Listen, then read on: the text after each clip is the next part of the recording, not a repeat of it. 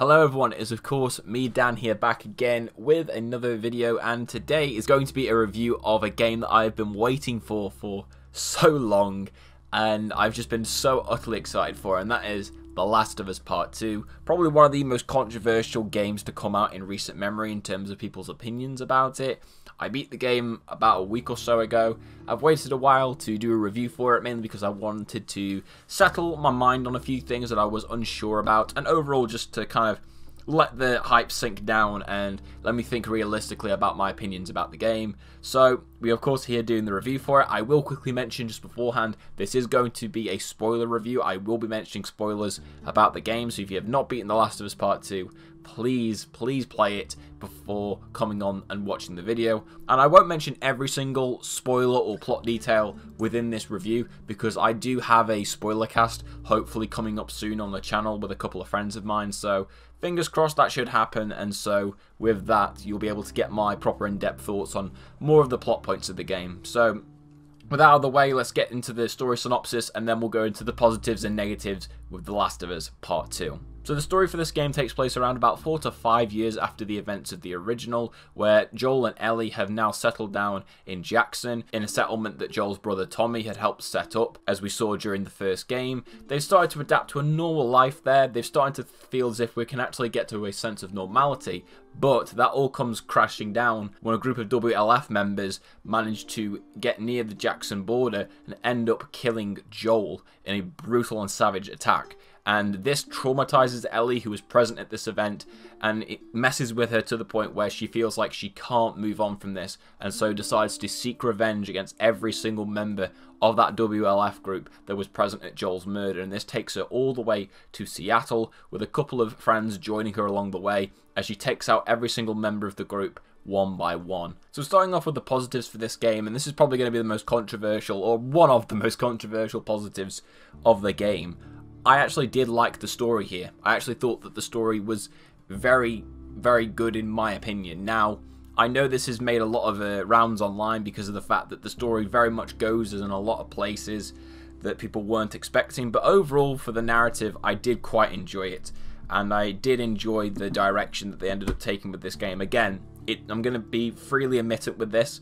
It's not the direction I would have taken, or I would have imagined Naughty Dog to take, but ultimately I did like the direction they went in, and it got some really interesting themes and character motifs and storylines out of it, so I did overall really like the overarching story. There are some issues that I do have with it, which I will explain in my negatives, but for the most part I think the actual story was very good.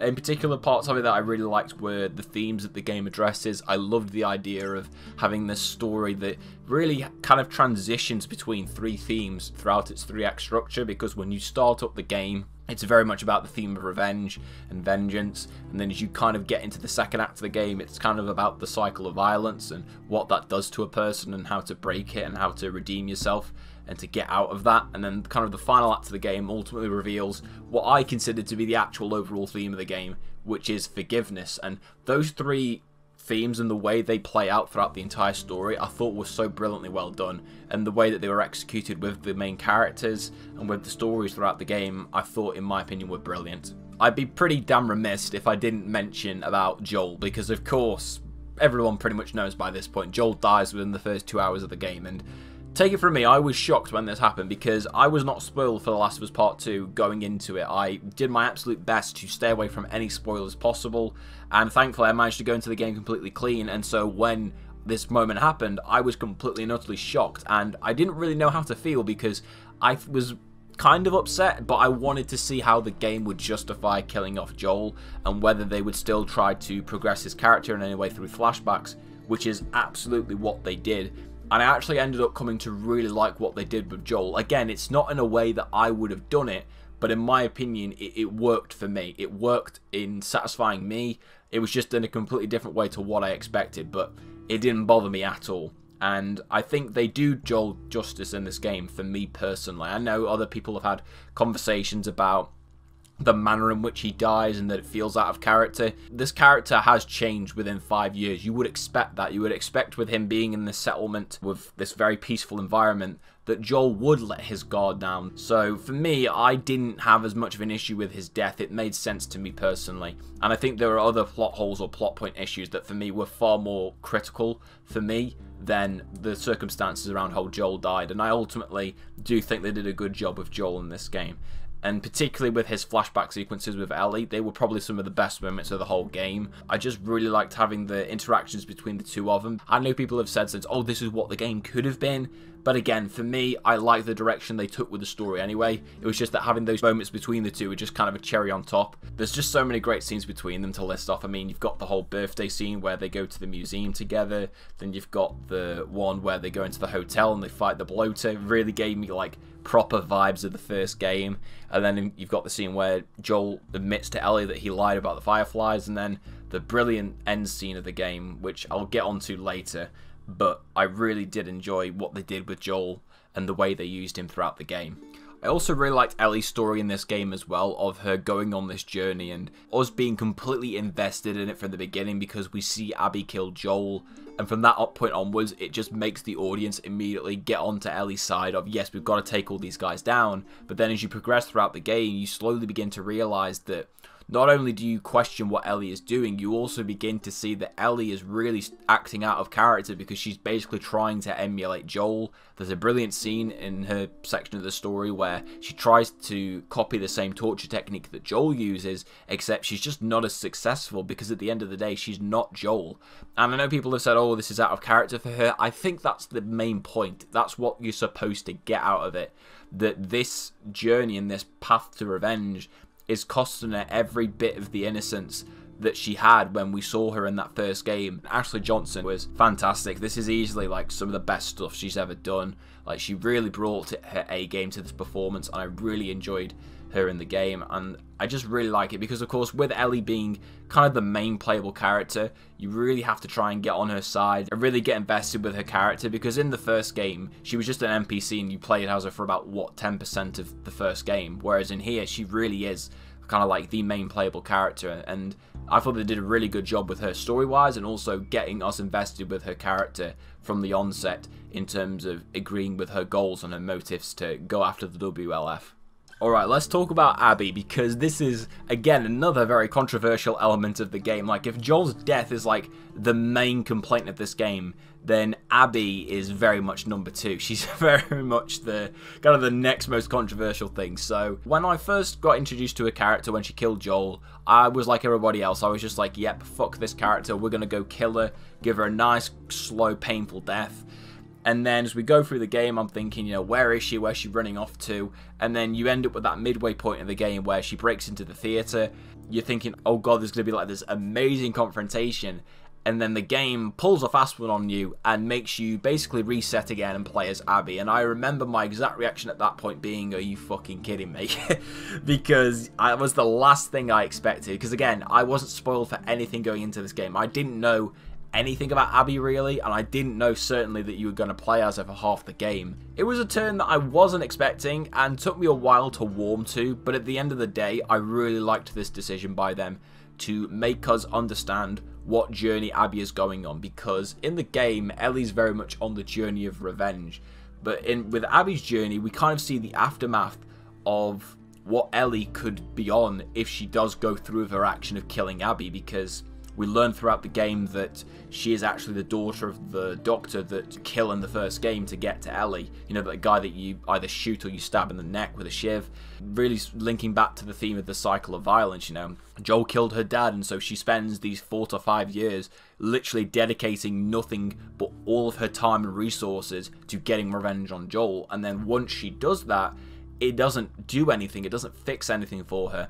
You know, her relationships with everyone is so broken because they just see her as this unrelenting killer. She still has nightmares about her dad. She can't get them out of her head. She's still stuck with this boring, mundane job that you can just tell she isn't interested in.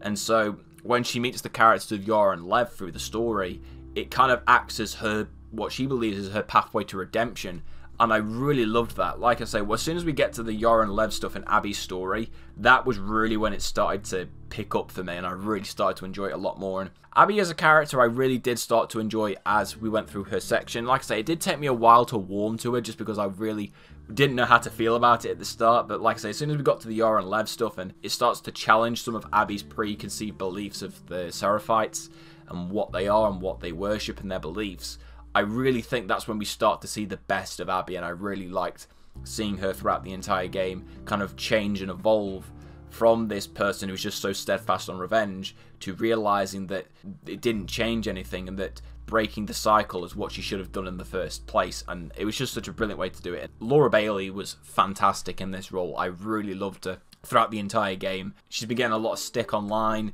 just because, oh, you killed Joel, so people have been giving her shit for that. I think it's honestly pathetic. And then the whole argument about, oh, why is Abby so buff? I think it's there to demonstrate the fact that she spent so much time fixated on killing Joel that she basically built herself like a tank for the sole purpose of killing him. And then afterwards, it's just kind of this thing that just acts as a reminder of an event that didn't change anything for her. So I really understood why they did that and uh, yeah, I didn't really have a problem with that. And again, by the end of the game, I really liked Abby Abiel's character. I didn't like her more than Ellie. I've seen some people say that. I personally still preferred Ellie more to Abby. But by the end of the game, I think the aim with Naughty Dog wasn't for us to like Abby, but for us to understand Abby. And if that's the case, then they definitely succeeded with that. The supporting characters in the game as well are also really good in my opinion. Of course, on Ellie's side of the story, the, the main two ones you've got the new characters introduced are Dina and Jesse. Uh, Dina was one that I really quite liked. I wasn't sure how to feel about her because in the E3 trailer or the gameplay snippet we got with her and Ellie in that little bar, I didn't really know how to feel about Dina as a character, but in the actual game, I really liked her, and I really liked her relationship with Ellie. You really brought into it, and you really wanted to see these two have a happy ending, and I thought just her attitude and her back and forth with Ellie was really good. I really loved Dina throughout the game. There is one plot point revelation about her character that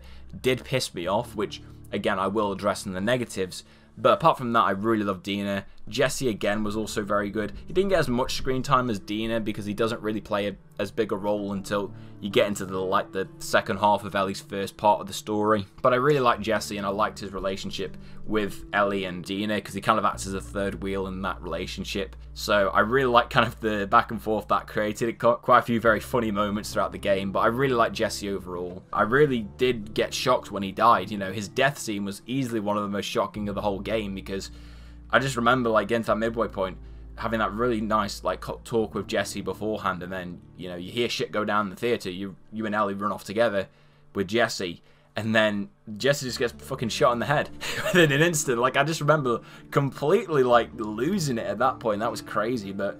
Yeah, Jesse was a really good character. I really liked him. Tommy as well plays a bigger role in this game than he does in the first one even though a lot of it is unseen, I still really like what they did with Tommy. And I really liked how he kind of served, again, it's kind of like this mirror to Ellie of this is what will happen to you if you don't let go of what happened to Joel. Because by the end of the game, you know, he goes through a lot of shit trying to, you know, get vengeance on Joel and he ends up he loses his sight, he loses his ability to walk or, or his mobility in general, he ends up losing his relationship to Maria. He really does lose everything, and again, it kind of, again, holds up this mirror to Ellie and saying, look, if you want to keep on going through this with Joel, it will cost you everything. And then on Abby's side, of course, you got quite a few members of the WLF that we see. Uh, the the favourite ones was definitely Manny. It was weird because when I first saw Manny, I was just like, oh, fuck this guy, you know, because the man's just spitting on Joel's grave. And I'm like, ugh, I don't know how to feel about this guy. But then as soon as you get to Abby's section, I really loved Manny. I loved him, you know, he was a really, really cool character. And again,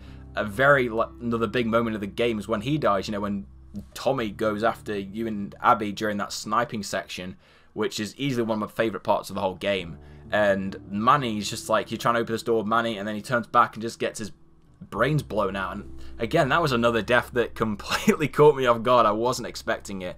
But Manny was a character that I really liked in the game. I also really loved Owen as well. Owen was another one that I really loved on Abby's side of the story. I really loved kind of his thought process and the fact that, unlike a lot of the WLF members, he's someone who's quite sympathetic. There's this whole storyline with him in the game about how they're going after out, out to kill some Seraphites, and he has a moral dilemma because he sees this, you know, this old man who he's meant to kill, and he just can't do it, and he ends up killing one of his WLF members in order to save himself. And the voice actor for Owen Patrick Fugit, I think, did a really good job. I've actually seen him on another TV show called uh, Outcast. He was on there as the lead character.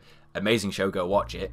And yeah, he was amazing in this game. I really loved what he did with the character. And then easily my favourite two from Abby's side of the story were Yara and Lev. I loved their storyline and I just loved how they really brought a different insight to the Seraphites because you see them in tidbits before you meet Yara and Lev and you just think like these guys are fucked up like what they do is crazy and you think everybody is like that and then you meet Yara and Lev as these two people that are trying to get out of the Seraphites and they were brilliant characters. I love their dynamic one another, how their storyline very much it takes a real toll on Abby and really ignites the change in her character. I've just really loved them and on their storyline and how it ended. You know, going to their home on the Seraphite Island. Yeah, just really great characters, and I really enjoyed them and their role throughout the game. The graphics as well in this game are stellar. Some of the best graphics on the PS4. I'd, in fact, I'd go as far as to argue these are the best graphics on the PS4. Like these are honestly ridiculous. Like, we're getting to the end of the PS4 era, kind of like that time now where developers really know what they can get out the system on the games, and Naughty Dog have just mastered it. The game looks incredible, the tiny details, the facial animations in particular, all the thing that really stood out to me.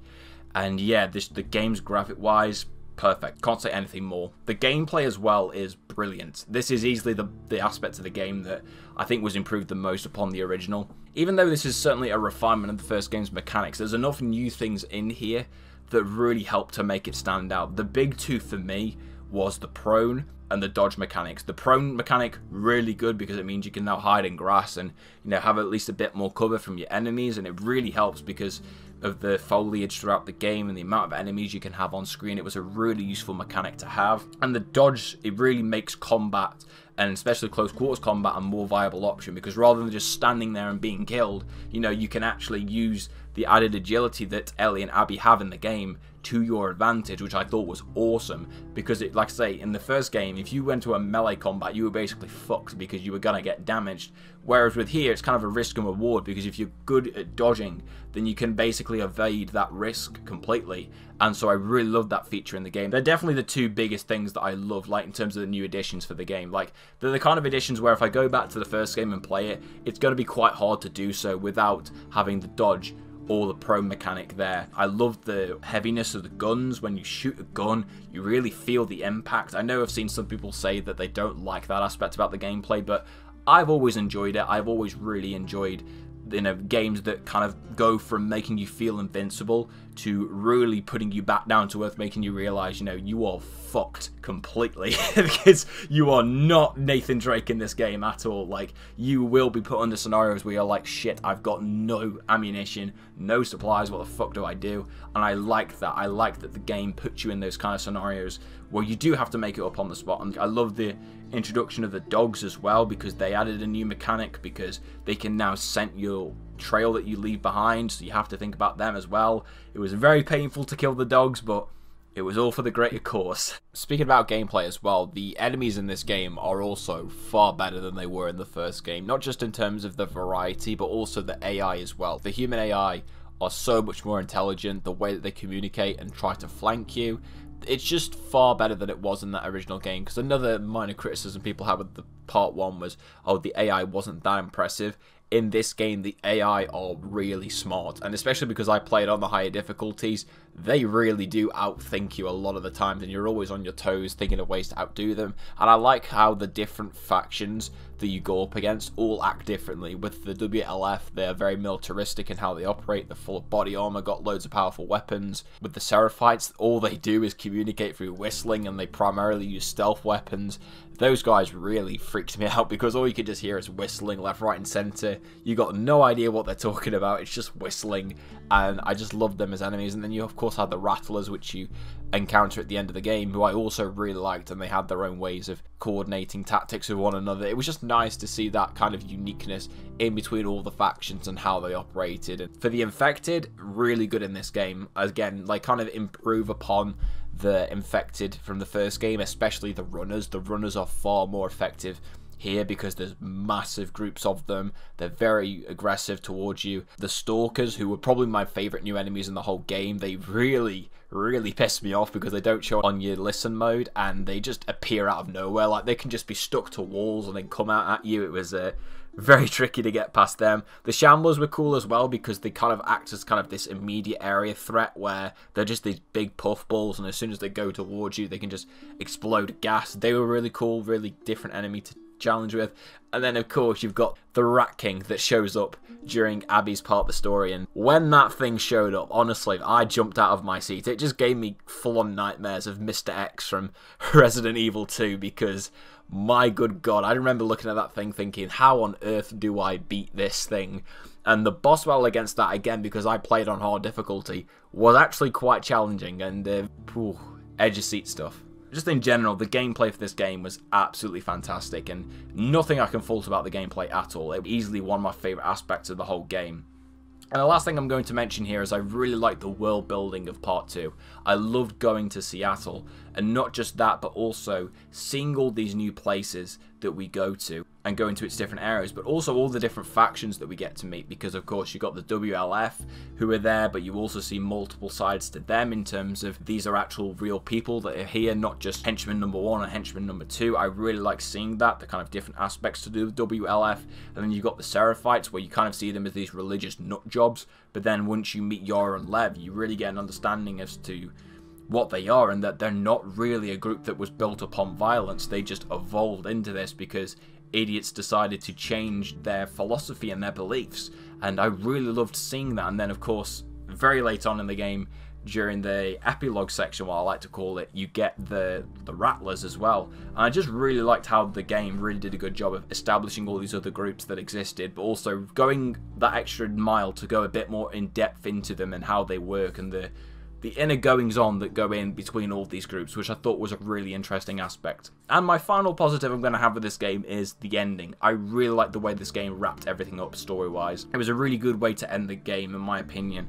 And very much like the first game, if they were to not make a sequel after this, I would be completely content and happy with the way that they ended it. The whole segment away, uh, you know, the epilogue when they go to Santa Barbara, I do have some minor issues with it in terms of how it relates to the whole game, which I'll address again in the negatives. But in terms of its section itself and how it ends, I really loved it. Concluding that story between Ellie and Abby and the whole cycle of violence and revenge and forgiveness themes and how they all come together was brilliant. It also has probably my favourite scene in the whole game between Ellie and Joel, that final flashback where initially in the game you're led to believe, oh shit, you know, she wants to kill Abby because she never got the chance to forgive Joel, but then you realize that the final conversation that her and Joel had was actually one where she wanted to start to forgive him.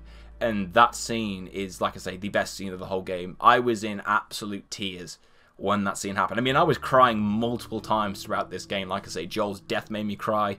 All the flashback sequences made me cry. This scene broke me completely. Absolutely destroyed me. I can't remember the last time I cried this hard in any piece of media ever. It was ridiculous, and that scene just floored me emotionally. And like I said, the acting between Troy Baker and Ashley Johnson in that scene was pitch perfect. It was fantastic, and I just loved the way the game ended it with Ellie finally realizing that to really get over what happened, couldn't just go after Abby and enact revenge and continue that cycle. She had to forgive her because if she could forgive Joel for what he did to her, then ultimately she had to do the same thing with Abby. It's just, it takes her everything and costs her everything to get to that point. And it's a very bittersweet ending, but it's very reminiscent to what, of course, what we got in the first game, which I really enjoyed. And like I say, if they never made a Last of Us Part 3, I would be completely fine with the way they ended it here.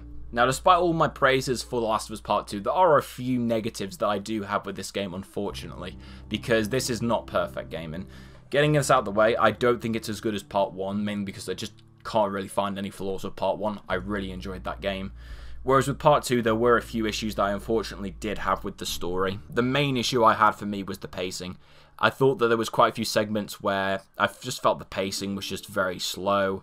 Not a lot was really happening to progress the story outside of gameplay sequences, which were fun of themselves, but I didn't really feel like there was enough actually happening to drive the story forward, which annoyed me a little bit. I think the main issues with the pacing wise for me was when you initially take over as Abby because the game really ramps up towards this conclusion, and then all of a sudden we do a restart, which I liked in terms of developing Abby's character, but in terms of an actual overall narrative of the game, it really does put the story on standstill for a good two hours, which I just really found myself really frustrated by. Maybe it would have been better had they maybe intercut sections with you playing as Abby and then playing as Ellie.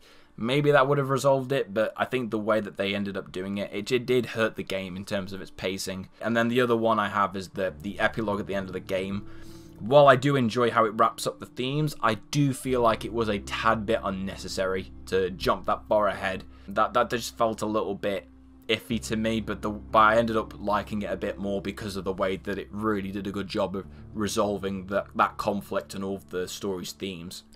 Another thing I will say about the pacing with this game is that it does jump around a lot in time, because whereas the first game was very straightforward in terms of how it took place, it was all in chronological order, we were always moving forward, with this game there are quite a few sequences where we jump back in time to flashbacks of a character's past, and some of them, like I say, worked really well. I enjoyed all of Ellie's flashbacks, and I thought they worked really well because they really helped to shape the dynamic between her and Joel.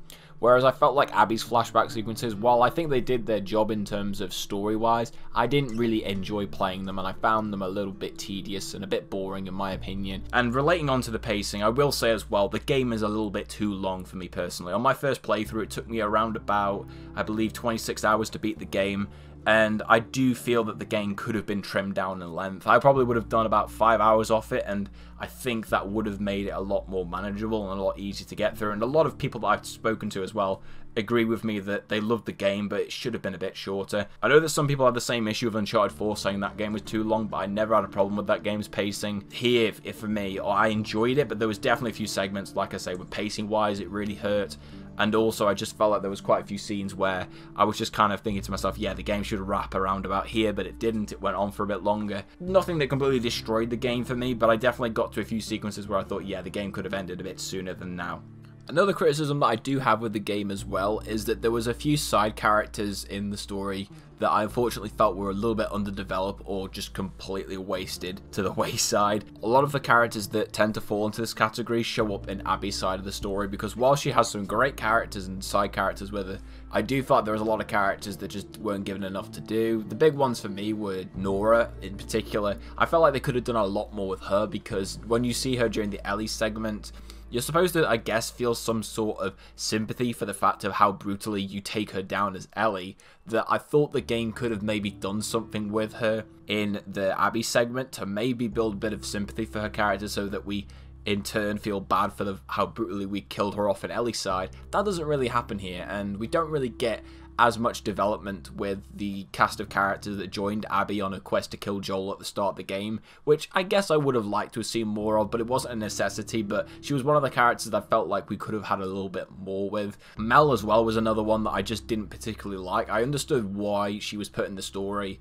and her place there was to basically just call Abby out on her bullshit and how everyone perceives her after what she did to Joel and how brutally she killed him. I get why she's there, but I feel like the way they used her was very annoying. Pain in the arse the entire way through the game, but in a negative way. And also, why is she out on the field when she's pregnant? I never really enjoyed her character in the game, but the big one for me was the leader of the WLF, Isaac, what was the point of this character? I honestly felt like you could have removed him from the game and nothing would have changed. We spend so much time building up to him in Ellie's story, we see notes about him, you hear WLF members before you kill them mentioning about Isaac and you think to yourself, right, he's this big figure, you know, are we going to see him? And then we see him for two scenes, his introductory scene and his final scene where he gets killed off. I genuinely think he was a waste of a character. It was almost as if they needed kind of this small villain that they needed for a certain section of the story. Kind of like David, how David was a villain for the winter section of the first game. And it was almost as if they wanted to do the same thing here with Isaac, except they just did nothing with him. He probably has about five minutes of screen time in the whole game, and it just felt so undercooked. And I think the part of the reason for this might have been because of the fact they casted Jeffrey Wright in the role. Because if you don't know, Jeffrey Wright is a humongous actor and he's in a lot of stuff.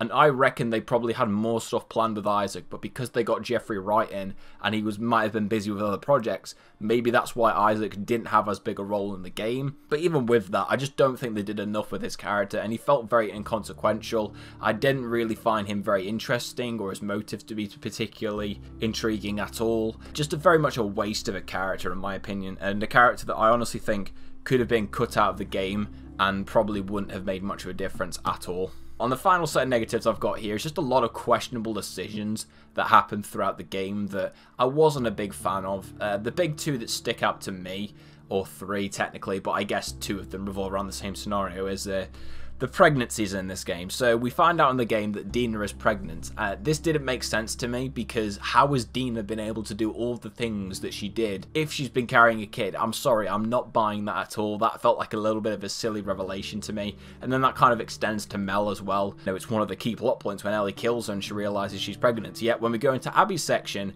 she's going out into the field, even though you can clearly tell she's well into her pregnancy. That just felt a bit stupid to me why they had that. That just felt so dumb in my opinion. Just from a concept and how it plans out in game, like the fact she's like vaulting over cover and smacking her stomach against walls and surfaces. Yeah, it's just no, it's not particularly a good idea in my opinion. And the other one was the motif for why Abby spares Dina when we get to that section in the game where we have that fight in the theatre. I never really fully bought into Abby letting Dina live. I understand why Ellie ends up letting Abby live at the very end of the game. That was made perfect sense to me. I thought that was very well shown and developed throughout the game. However, I don't understand why Abby let Dina survive. I mean, there's the revelation that she's pregnant, but Ellie just killed her boyfriend and her boyfriend's current girlfriend who was pregnant. I just never really understood it. And even when Lev shows up and like and calls Abby's name out to her, I didn't really buy into it, and I just I wish it had been explained a little bit better because even on my second playthrough, I tried to look for maybe dialogue that further explained that, but I never really found it within the game, or at least it didn't really fix that criticism that I had for me personally. And yeah, there's just a couple of decisions like that, just narrative wise, that just felt a bit odd, or just moments that I don't think were explained as well as they could have been. Putting all that aside, though, I really enjoyed The Last of Us Part 2. For me, it was a worthy sequel to the original game, and whilst I don't think it is quite as good as the first game, given that the first game is my favourite game of all time, and it was just such a hugely important game for me, I still very much enjoyed The Last of Us Part 2.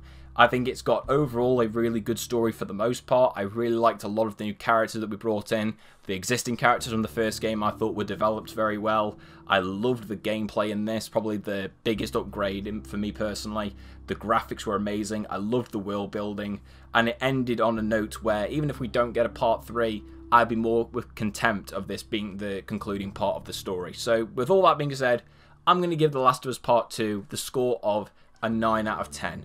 I know some people won't agree with that, but again, this is just my opinion. I personally dug the game. I enjoyed what I got out of it. And it's a very strong way to close out the PS4, in my opinion, with one of the best exclusives that it has to offer. So thank you very much for watching my review on The Last of Us Part 2. I know this has been an incredibly long video, so I really do appreciate you sticking around and hearing everything I have to say about the game. Of course, let me know in the comment section down below your opinions on The Last of Us Part 2. Try and please be civil about it, because I don't want a war happening in the comment section. So yeah, thanks for watching. Leave a like on the video, subscribe to the channel if you're new, and I hope to see you all again next time. I'll see you around. Yep.